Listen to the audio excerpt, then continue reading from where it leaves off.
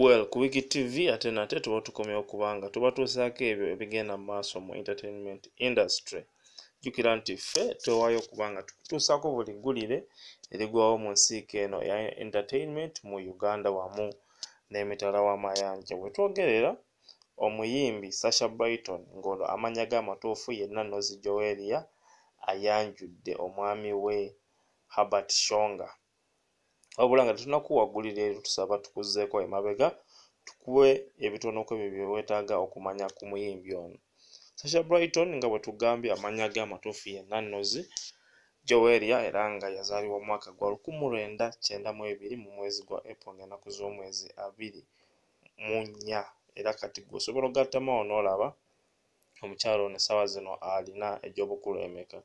sasha brighton yayatiikirira nnyo nga mu mwaka gwa 2014 ng'ayita mu auditions ezaali zitegekeddwa egos production era nga bwe yavaawo yakola oluyimba lwe olwasookera ddala olwali luyitibwa solak era nga luno tuyinza okugamba nti lwe lwamuggulirawo kubeera nga amanyikwa mu music industry ye uganda era nga teyakomaawo azizzaako ennyimba nnyingi eziwerako era nga muno mulimu ennyimba nga amaalo kabiite kwata kwata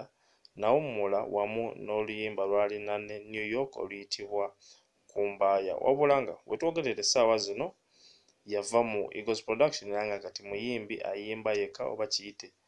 solo artist era nga azze akolera ennyimba eziwererako ddala. Emabegako awo sasha brighton yatandika okudeetinga habib shonga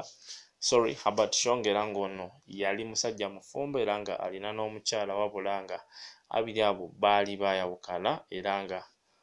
omukyala ono abadde naye okumala akabanga era nga bwe tuba tetwerabidde emabega awo. Amawulire agatawa ssanyu yadde gaafuluma nti sasha brighton yali avuddemu olubuto lw'omwami ono. Kakati nno olunaku lwaleero ababiri bano bakoze omukolo gwabwe ogw'okwanjula era nga sasha brighton ayanjudde habert shonga maka g'abazadde be nga bwe mulaba mu bifaananyi awo era nga omukolo gubadde mulungi okukamala nga nammwe era bwe mulaba awo. Ababiri bano tubaagaliza